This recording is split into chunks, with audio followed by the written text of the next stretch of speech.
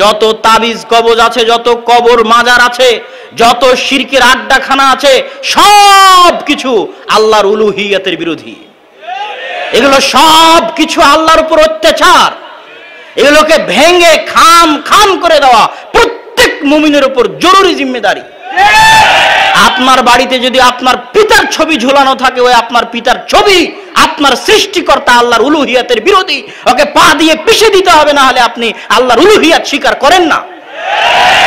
এটাই আল্লাহ তাআলার উলুহিয়াত। এটাই মুসলমানের জাজবা। এটাই আল্লাহ রাসূল শিখিয়েছে, এটাই ইব্রাহিম শিখিয়েছে। শিরক কি জিনিস? আল্লাহর উলুহিয়াতে, আল্লাহর দাসত্বে যখন সরিষা সমপরিমাণ অংশীদার, আপনি কাউকে দিবেন, শেয়ার দিবেন, ভাগ দিবেন। চুল সমপরিমাণ, তখন আপনি শিরিক করলেন। শিরিক মানে হচ্ছে ভাগ দেওয়া। বলে না শরিকানার ব্যবসা, অমুক আমার শরিক। এই জায়গার থেকে শিরিক শব্দটা এসেছে। শেয়ার করা, ভাগ করা মানে শিরিক। আপনি আল্লাহর উলুহিয়াতে সরিষা সমপরিমাণ, চুল সমপরিমাণ অন্য কাউকে ভাগ দিলেন মানে শিরিক করলেন। এটা কেমন অপরাধ? আপনি আপনার স্ত্রীকে খাওয়ান, পরান বাড়ি গাড়ি দিয়েছেন ব্যাংক ব্যালেন্স দিয়েছেন। আপনার স্ত্রীর ক্ষেত্রে আপনি হচ্ছেন তার লালন পালন কর্তা। সে আপনার খায়, কিন্তু ভালোবাসে আর একজনকে এটা যেমন অন্যায়, অত্যাচার, জুলুম, সে যেমন তার স্বামীতে শরিক স্থাপন করেছে, শিরিক করেছে, সেটা যদি সরিষা সমপরিমাণ হয়ে থাকে, চুল সমপরিমাণ হয়ে থাকে, তাহলে সেটা অত্যাচার। তো আপনাকে খাওয়ায় পড়ায় কে? আল্লাহ সুবহানাহু জমিনে চলেন কার? আসমান কার? ওই যে আল্লাহ জিজ্ঞেস করে নিল না?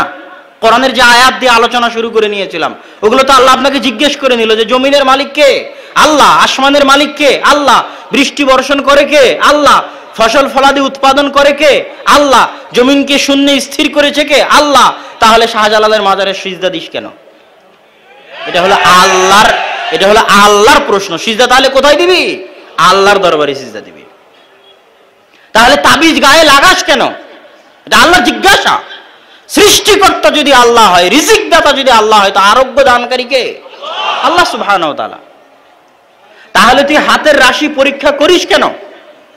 আল্লাহ ওয়া যদি রিজিক দাতা হয়, সৃষ্টিকর্তা হয়, তো ভবিষ্যতের জ্ঞান একমাত্র তিনিই জানেন, দুনিয়ার কেউ জানে না।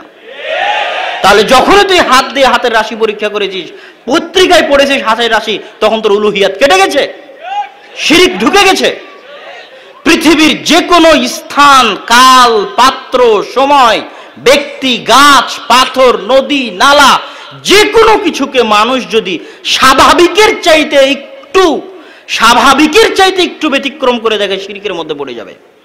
যে কোনো সময় মানে আজকের দিন, সোমবার, শুভ দিন। হিন্দুদের বিবাহ হয় শুভ কাল দেখকার শুভ সময় দেখে হিন্দুদের বিবাহ হয়। যে শুভ পরাহ্ন বের করেন হিন্দুদের কাছে গিয়ে স্বামী, স্ত্রী দুইজনের হাত পরীক্ষা করে পণ্ডিত বের করে যে অমুক দিন তাদের বিবাহ হবে, শুভ। তাহলে একটা দিনকে সে স্বাভাবিকের চাইতে বেশি মর্যাদা দিচ্ছে। আপনি বললেন সোমবারের দিন এইটা করা হবে না, বাকি দেওয়া হবে না, গাছ কাটা হবে না, অমুক দিনের এই সিস্টেম অমুক দিনের এই সিস্টেম এই মাসে বিয়ে করা হবে না, ওই মাসে বিয়ে করা হবে, এই দিনে বিয়ে করা হবে না, এই দিনে বিয়ে করা হবে। এই যে একটা দিনকে, একটা সময়কে আপনি স্বাভাবিকের চাইতে বেশি কিছু ভাবতেছেন, আল্লাহর সব দিন সমান, আল্লাহর বারো মাস সমান, আল্লাহর সাত দিন সমান, আল্লাহর এই সাত দিনে শুভ, অশুভ বলে কিছু নেই। যখনই আপনি স্বাভাবিকের চাইতে সরিষা সম পরিমাণ বেশি করে দেখবেন, কোথায় পা দিয়ে দিবেন? জোরে বলতে হবে, কোথায়? শিরকে যে বলে যে আব্দুর রাজ্জাক বিন ইউসুফ সাহেব কেন বলেন যে দিবস পালন করা শিরক ওকে আবার তাওহিদ পড়তে হবে। ওকে আবার শাহ ইসমাইল শহীদ রাহিমাহুল্লাহর তাকবিয়াতুল ইমান পড়তে হবে। দিনের যে কোনো সময়কে আপনি জন্মদিবস পালন করলেন। সরিষা সমপরিমাণ স্বাভাবিকের চাইতে আপনি ওই দিনকে মূল্যায়ন দিচ্ছেন। কি জন্য? আল্লাহর ওই দিনকে আপনি কি জন্য স্বাভাবিকের চাইতে মূল্য দিবেন? আল্লাহ কি দিতে বলেছে? আল্লাহ দিতে বলেনি। তাহলে সরিষা সমপরিমাণ আপনি স্বাভাবিকের চাইতে মূল্য দিচ্ছেন। মানে আপনার ভিতরে সমস্যা আছে, আপনি শিরকের ভিতরের দিকে ধাবিত। আজকে শির্ক না করলে কালকে করে বসবেন। এটা দিনের পূজা করা। এটা কিসের পূজা করা? দিনের পূজা করা। দিবস পালন করা মানে দিবসের পূজা করা। দিবস পালন করা মানে কিসের পূজা করা? দিবসের পূজা করা। আপনি এটা সময়কে স্বাভাবিকের চাইতে বেশি মর্যাদা দিলেন। হিন্দুরা কি করেছে? ওরে বাপরে বাপ, পদ্মা বিশাল নদী, গঙ্গা এত বড় নদী, এত বড় নদী হয় না। চলো এই নদীর পূজা করি। তখন ওই নদীতে গোসল করলে সব গোনা মাফ হয়ে যায়। এত বড় গাছ, এই গাছ দুইশো বছর থেকে আছে, পাঁচশো বছর থেকে আছে, চলো এই গাছের পূজা করি। কথা কি আমার বুঝতে পারছেন? এত বড় পাথর হয় না, এত বড় পাথর কেমনে হলো? চলো এই পাথরের পূজা করি। তাহলে এই যে একটা পাথরকে, একটা গাছকে, একটা নদীকে স্বাভাবিকের চাইতে বেশি মর্যাদা দেওয়া হচ্ছে এটা কি? শির্ক।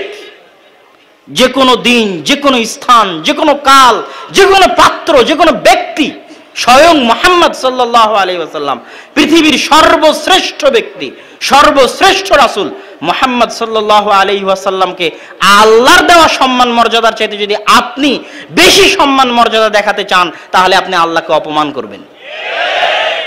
গায়েবের খবর কি মোহাম্মদ সাল্লাম জানেন? জানেন না। যদি আপনি বলেন মোহাম্মদ সাল্লাম গায়েবের খবর জানেন, অপমান কার হবে? আল্লাহর হবে। স্বয়ং মোহাম্মদ সাল্লাহ আলহি ওয়াসাল্লামকে তার যতটুকু সম্মান পাওয়ার যোগ্য, ততটুকুর চাইতে কোনো দিক থেকে কোনো মাধ্যম দিয়ে আপনি যদি সরিষা সমপরিমাণ বেশি সম্মান দেখাতে চান, তাহলে আপনি শিরকে পা দেবেন। মনে করলেন আল্লাহর কাছে সাহায্য না চেয়ে মোহাম্মদ সাল্লামের কবরে গিয়ে সাহায্য চাইব। হবে? মোহাম্মদ সাল্লামের কবরে গিয়ে সিজদা করব। হবে? আবু বকর, ওমর, ওসমান বিপদে পড়েনি? রাজত্ব চালাতে গিয়ে বিপদে পড়েনি? আল্লাহ রাসুলের কবরে গিয়ে সিজদা করেছে নাকি? আল্লাহ রাসুলের কাছে সাহায্য চেয়েছে নাকি? পৃথিবীর ইতিহাসের কেউ কি প্রমাণ দেখাতে পারবে? কেউ? যে আবু বকর, ওমর, ওসমান, আলী চরম বিপদ মুহূর্তে আয়সার জিল্লাহ তালান আল্লাহর রাসুলের কবরের পাশেই থাকতেন, ঘরেই থাকতেন। তিনি কোনোদিন ওখানেই ইবাদত করতেন। তিনি কোনোদিন আল্লাহ রাসুলের কবরের পাশে থেকে আল্লাহ রাসুলের কাছে কিছু চেয়েছেন। আল্লাহ রাসুলের কবরে সিজদা করেছেন। এটা কেউ একটা নজির, একটা ইতিহাস প্রমাণ করে দেখা পারবে না? এটা রাসুল সাল্লাহ আলী আসাল্লামের শিক্ষার বিরোধী, এটা উলু হিয়াতের বিরোধী, আল্লাহ সুবহানার দাসত্বের বিরোধী, আল্লাহ সুবহানার বন্দিগির বিরোধী। প্রত্যেক পৃথিবীতে যা কিছু আছে, যার স্বাভাবিকের চাইতে সরিষা সম পরিমাণ মর্যাদা বেশি দেওয়া হয়, যত তাবিজ কবজ আছে, যত কবর মাজার আছে, যত শিরকের আড্ডাখানা আছে, সব কিছু আল্লাহর উলুহিয়াতের বিরোধী। এগুলো সব কিছু আল্লাহর উপর অত্যাচার। এগুলোকে ভেঙে খাম খাম করে দেওয়া প্রত্যেক মুমিনের উপর জরুরি জিম্মেদারি। আপনার বাড়িতে যদি আপনার পিতার ছবি ঝুলানো থাকে, ওই আপনার পিতার ছবি আপনার সৃষ্টিকর্তা আল্লাহর উলুহিয়াতের বিরোধী, ওকে পা দিয়ে পিষে দিতে হবে, না হলে আপনি আল্লাহর উলুহিয়াত স্বীকার করেন না। এটাই আল্লাহ তাআলার উলুহিয়াত, এটাই মুসলমানের জাজবা, এটাই আল্লাহ রাসূল শিখিয়েছে, এটাই ইব্রাহিম শিখিয়েছে। এই জন্যই যখন এই জায়গায় মানুষ চলে আসবে, তাওহিদ যখন মানুষ বুঝে নেবে, তখনও পারমাণবিক বমের চেয়ে শক্তিশালী। যে আজকে তাবিজের সামনে মাথা নত করেছে, ভয় পেয়েছে, বাপরে বাপ, যদি তাবিজ ব্যবহার না করি, তাহলে জিন তো আমাকে আক্রমণ করে ফেলতেছে। আমার ছেলে মনে হয় মারা যাবে যদি আমি তাবিজ না লাগাই। আমি একটা ঘটনা হয়তো কোনো এক জালসায় শুনিয়েছিলাম, আজকে কথায় কথায় মনে পড়ে গেল। এক বাড়িতে ঢুকেছি, তো সেই বাড়ির একটা ছোট বাচ্চার গায়ে তাবিজ আছে। তা আমি বলছি, এই তাবিজ খুলে ফেলতে হবে। তখন তারা বলতেছে যে এই তাবিজ যদি না খোলা খোলা যদি হয়, তাহলে অর্থ ক্ষতি হবে হবে, আমারও ক্ষতি হবে। কথা বুঝতে পেরেছেন? তো যখনই বলেছে, আমার ক্ষতি হবে, তখন আমার গায়ে আগুন লেগে গেছে। তখন আমি জোর দিয়ে টান দিয়ে তাবিজ খুলে ফেলে পায়ে পিষে বলছি, জিনের বাপকে আসতে বলেন আমার ক্ষতি করতে। আমি আল্লাহর বান্দা। আর ওই জিনেরও সৃষ্টিকর্তা আল্লাহ। একটা পিঁপড়ার সৃষ্টিকর্তা যেমন আল্লাহ। আর আল্লাহ বলেছে, ইন্নাল্লাহ আলা কুল্লি শাইইন কাদির। আল্লাহ সব কিছুর উপর ক্ষমতাবান। ওই জিনের উপরও আল্লাহ ক্ষমতাবান। আমি যখন আল্লাহর বান্দা, তখন আমার কোনো ভয় নাই। এমপির ছেলের যদি ভয় না থাকে যে পুলিশ ওকে ধরবে কি ধরবে না, তা আমি ওই শত এমপির যিনি লালন পালন কর্তা, সে আল্লাহর বান্দা। তো ওই জিন তো আল্লাহর সৃষ্টিকর্তা। ওই জিন আল্লাহর সৃষ্টি জীব। আল্লাহ হচ্ছে ওই জিনের সৃষ্টিকর্তা। একটা পিঁপড়া যেমন আল্লাহর সৃষ্টিজীব ওই জিন তেমন আল্লাহর সৃষ্টিজীব ওই মানুষ তেমন আল্লাহর সৃষ্টিজীব যে একবার তাবিজকে ভয় পেয়ে গেল, যে একবার জিনকে ভয় পেয়ে গেল যে একবার কবরের সামনে মাথা নত করে ফেলল, ও অবশ্য অবশ্যই একদিন আমেরিকা, ইসরায়েলের গোলামি করবে। ও অবশ্য অবশ্যই একদিন ভারতের গোলামি করবে, দাসত্ব করবে।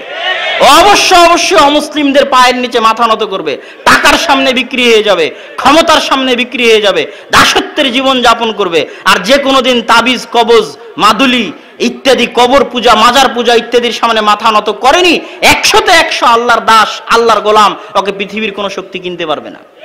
ও পারমাণবিক বমের চেয়ে শক্তিশালী। ওর ভাগ্যে বিজয় লেখা আছেই, ও যদি একাই থাকে তবুও। ও হচ্ছে ইব্রাহিমের মতো। অতএব মুসলমানকে আসল স্বাদ নিতে হবে তাও হেদের স্বাদ। তাওহিদের স্বাদ পৃথিবীতে সবচেয়ে মজার, সবচেয়ে আসল স্বাদ আপনাকে পৃথিবীর সব দাসত্ব থেকে মুক্ত করে দিবে, পূর্ণ আজাদ করে দিবে। স্বাধীন নিঃশ্বাসে পৃথিবীতে চলতে পারবেন। সরিষা সমপরিমাণ ভয় হবে না পৃথিবীতে চলতে। যে না জানি এই চাকরি যদি ছেড়ে দিই, তাহলে মনে হয় আমার রুজি রুটি বন্ধ হয়ে যাবে। মানে আপনি আল্লাহর একশোতে একশো দাসত্ব গোলামি করেন না। আপনি এখনও টাকার দাসত্বের মধ্যে আছেন, চাকরির দাসত্বের মধ্যে আছেন। আপনার পায়ে গোলামের জিঞ্জির বাধা আছে। আপনি যখন একশোতে একশো আল্লাহর দাসত্ব বরণ করবেন, তখন মরলেও হাসি মুখে মরতে পারবেন। ফাঁসির কাছটে গিয়েও হাসতে পারবেন। ফাঁসির কাছটে গিয়ে হাসতে কি লাগবে? একশোতে একশো আল্লাহর দাসত্ব লাগবে। আল্লাহর সাথে মমিন অবস্থায় সাক্ষাতের আনন্দ লাগবে। আল্লাহর দরবারে তার উলুহিয়াতে একশোতে একশো বিশ্বাস করে আল্লাহর দরবারে যাওয়ার যে আনন্দ, ওই আনন্দের অনুভূতি লাগবে। তখন ফাঁসির দরবারে থাকলেও মুখে হাসি থাকবে। এটি উলুহিয়াতের পাওয়ার। এটি আল্লাহ সুবহান তালার দাসত্ব, একত্ববাদের পাওয়ার এটাই ইসলামের মৌলিক জিনিস।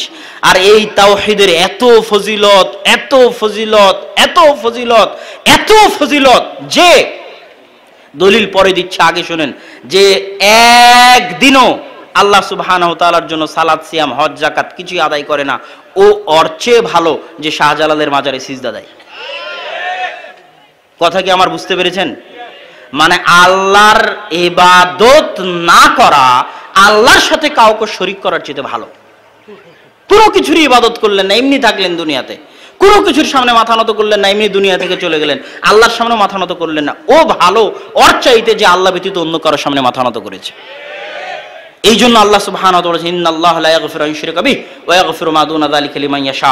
সব গুনাহ আল্লাহ ক্ষমা করে দিবেন। ইয়া বানি আদম লাও আতাইতুমুনি, যদি কিয়ামতের মাঠে আমার সামনে আসো, বিকরাবিল আরদি খাতায়া, আসমান জমিন ভর্তি গুনাহ নিয়ে, আর ওই গুনাহের মধ্যে যদি শিরক না থাকে, তাহলে আমি আল্লাহ আসমান জমিন ভর্তি ক্ষমা নিয়ে উপস্থিত হয়ে যাব।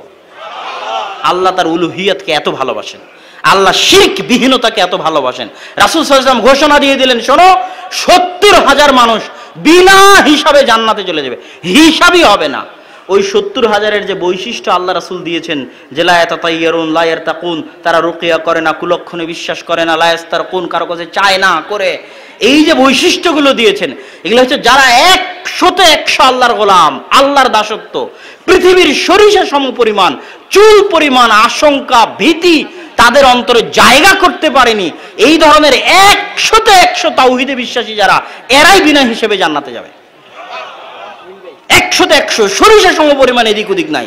এইরকম তাওহিদে যারা বিশ্বাসী, পূর্ণাঙ্গ তাওহিদে যারা বিশ্বাসী তাও হেদুল উলুহিয়াতে, তারা বিনা হিসাবে জান্নাতে চলে যাবে এই ঘোষণা আল্লাহ রসুলের দেওয়া। এরকম মানুষ খুব অল্প, খুব কম সংখ্যক। দুনিয়ার সব মানুষের মনেই কোনো না কোনো কিছুর দাসত্ব আছে, জিঞ্জির আছে, গোলামি আছে। এই জন্য বিনা হিসেবে যেতে পারবে না। তবে তারাই যেতে পারবে যারা একশোতে একশো পরিপূর্ণ তাওহিদে বিশ্বাসী। সম্মানিত উপস্থিতি, তাওহিদের এত ফজিলত, তাওহিদের এত ফজিলত যে আল্লাহ সুবহানাহু তাআলা কিয়ামতের মাঠে একজনকে ডাকবেন। আলা রউসিল খালায়েক, সব সৃষ্টি জীবের সামনে একজনকে ডাকবেন। ডেকে বলবেন যে, তোমার এই পড়ো, তোমার আমল নামা তখন সে তার আমল নামা পড়বে। আল্লাহ সুবহানাহু তাআলা তাকে জিজ্ঞাসা করবেন, যে এগুলো কি তুমি করেছ? তুমি কি অস্বীকার করবে? অস্বীকারও করবে না। কোনো অজুহাত আছে? কোনো অজুহাতও নাই। অস্বীকারও করবে না, কোনো অজুহাতও নাই যে আল্লাহ এই কারণে করেছিলাম, এই সমস্যায় করেছিলাম, কোনো অজুহাতও নাই। তখন আল্লাহ সুবহানাহু তার আর একটা বেতাকা বের করতে বলবেন, ওই বেতাকা এক পাল্লায় রাখা হবে, তার সব গুনাহ আর এক পাল্লায় রাখা হবে। ওই বেতাকা ওই কাঠের পাল্লা ভারী হয়ে যাবে, সব গুনাহের পাল্লা হালকা হয়ে যাবে। তখন ওই বেতাকা খুলে দেখা হবে, সেটাতে আছে কালেমা, লা ইল্লাল্লাহ, আল্লাহর একশোতে একশো উলুহিয়া। যারা আল্লাহ সুবহানাহু তাআলার শানে কোনোদিন শিরক করেনি যারা আল্লাহ সুবহান ও তালার শানে কোনোদিন কাউকে শরিক স্থাপন করেনি, তারা তাদের যদি গুনাহ থাকেও, আল্লাহ সুবহান ও তালা তাদের গুনাহ ক্ষমা করে দিবেন।